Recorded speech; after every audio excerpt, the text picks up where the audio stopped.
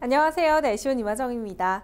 오늘 아침에는 어제 내린 비로 인해 습한 상태에서 기온이 떨어지면서 곳곳에 짙은 안개 낀 곳이 많았는데요. 기온이 오르면서 대부분 사라진 상태고요. 맑은 하늘 드러나 있습니다.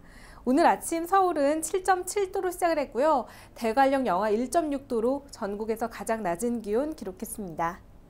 오늘은 화창한 봄 날씨를 되찾겠습니다. 비가 내린 뒤라서 공기도 깨끗하게 했고요. 낮 동안에는 기온도 크게 올라 바깥 활동하기에도 참 좋겠는데요.